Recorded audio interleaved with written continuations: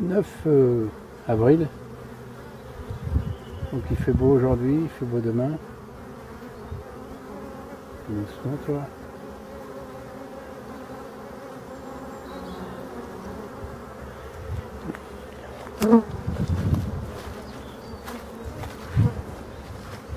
Voilà. Il y en a, ils sont, euh, on va leur faire une badigeonnée de, pollen. hein.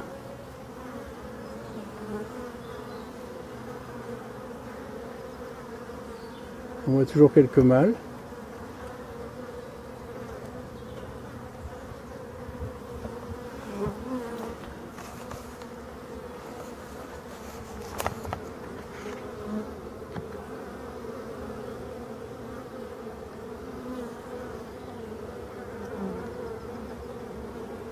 Pollen, pollen, doucement. Voilà.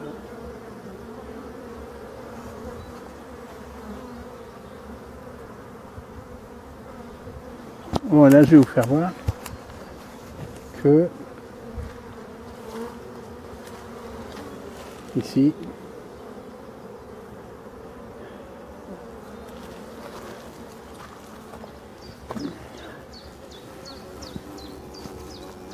je sais pas si on va voir à la bouteille. Ben voilà.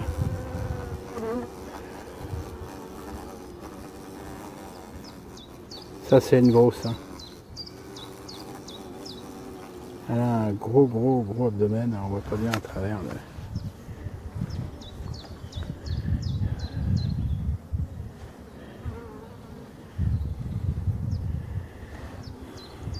Donc j'ai une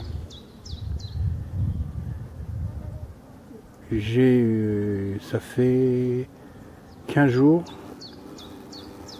que j'ai euh, mis ces bouteilles.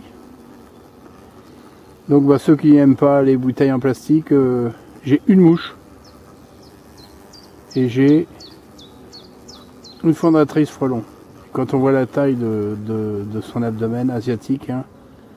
donc un pour un, franchement, euh, ceux qui disent ça. Alors c'est double chambre, on voit, elle se noie pas. Là je viens de remettre du sirop, frais parce qu'il va faire beau. Et donc elle reste vivante. On l'entend.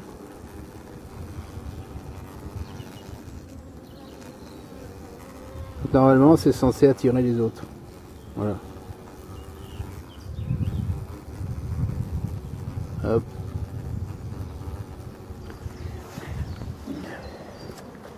Et sinon, on va faire le tour. Là, je viens de remettre du sirop. Et j'ai rien. Pas une mouche. Si, une au bord. là. Donc ceux qui disent que, que ça tape- capture tout, que c'est ceci, que c'est cela, quand on fait le double fond comme ça, il n'y a pas de problème. hein. Des trous là-haut, ça ressort. hein. Je ne veux pas y aller, mais j'en ai une autre là-bas. Voilà.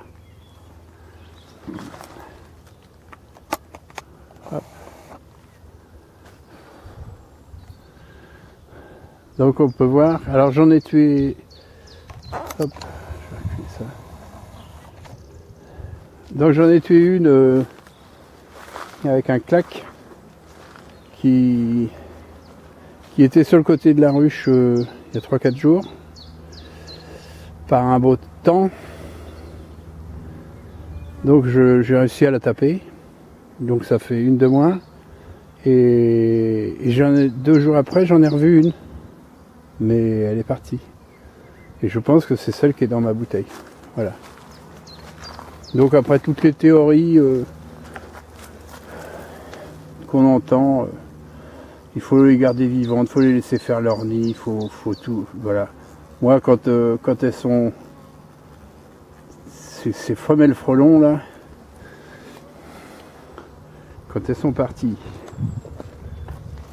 dans la forêt, ça, et ben je me demande comment vous faites pour la retrouver. En disant je vais la laisser.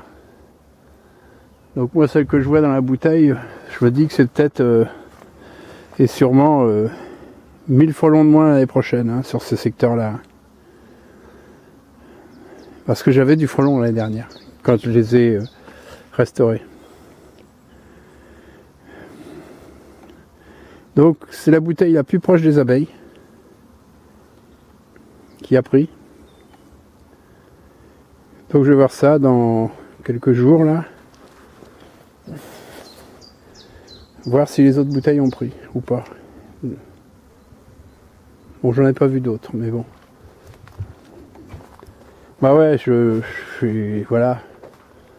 Le frelon, le frelon, euh, faut pas que ça devienne une spécialité en théorie, en pratique, en machin. Le frelon, moi je dis, si vous avez des ruches,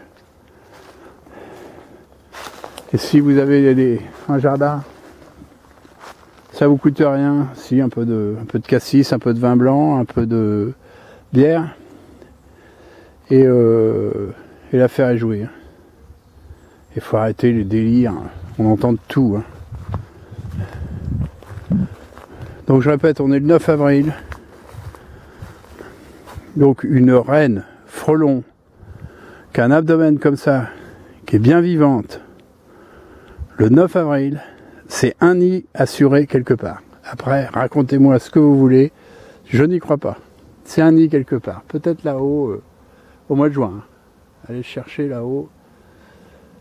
Il n'y a aucun outil pour aller le chercher. Le seul outil que moi je vois, c'est ma bouteille qui est là, qu'empêche cette frelon d'aller dans, je sais pas quoi, dans ce bois. Voilà. Bon, pour l'amusement, j'ai mis une ruchette.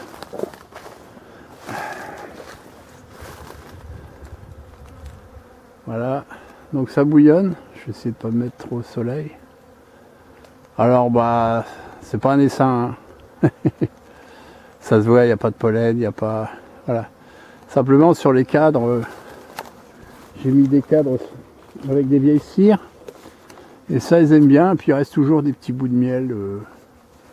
Donc j'ai ouvert par de conscience, mais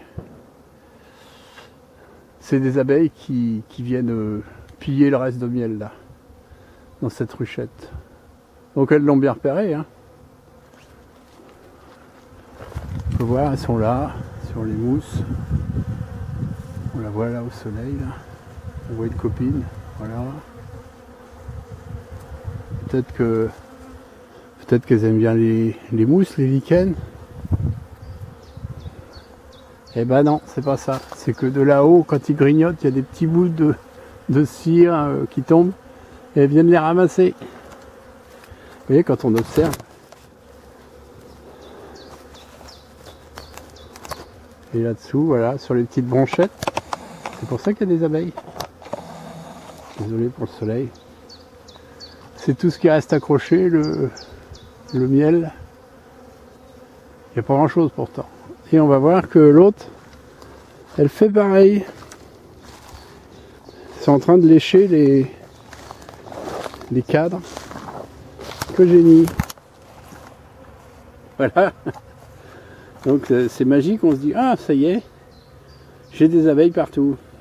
Mais non. Elles sont là parce qu'il y a à manger. Alors rassurez-vous, hein, j'avais mis deux cadres de miel. Enfin, euh, si on peut appeler ça des cadres, dedans. J'ai laissé ouvert avec une grille à frelons pour pas que le frelon euh, fasse son nid dedans. Et euh, bah, elles sortent, elles sortent des deux ruches là. C'est-à-dire que les cires sont, sont, sont de là. hein.